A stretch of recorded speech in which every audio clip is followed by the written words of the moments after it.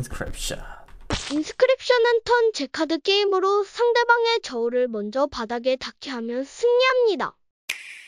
다람쥐 카드를 내거라. 이제 담비를 내거라.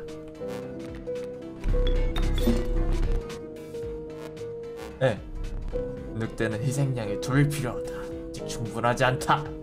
네 우물을 위한 내 턴을 종료하고 전투를 개시하라. 이 담비 앞엔 아무도 없다 치카다는 숫자는 공격력 아, 1이지. 그럼 우측 하단은 생명력이 있군요. 담비는 내게 1의 피해를 입혔다. 이는 저울에 더해졌다. 내 쪽에 저울이 바닥에 나오면 네 승리다. 이렇게 말이다. 이걸 뽑겠어야 정말 무모하구나. 울줄라고요. 아 지금 중이기 때문에 넘기겠다 아 이거. 아, 미안 미안.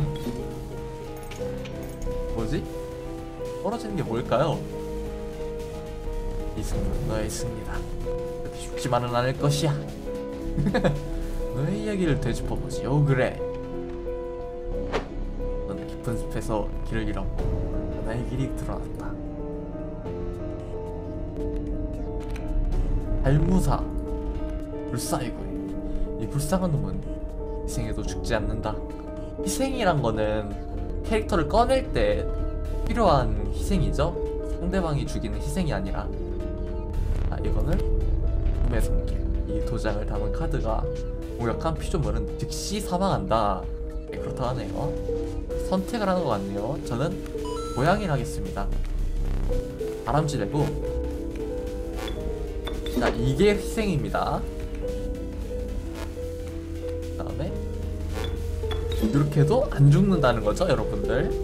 시작이건 망했는데? 떴다.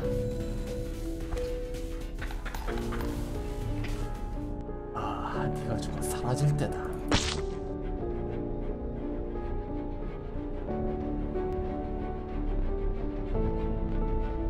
기념품이 갖고 싶다. 너만의 죽음 카드. 지금 시시해 보이지?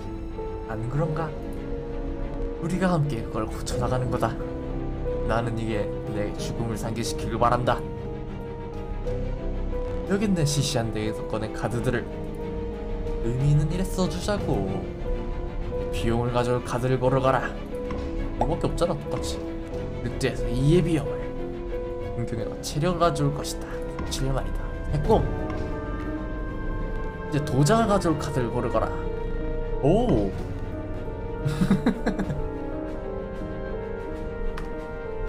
좋았어 사레스터 찰칵. 준비된다. 웃을 필요는 없다. 아, 예. 찰칵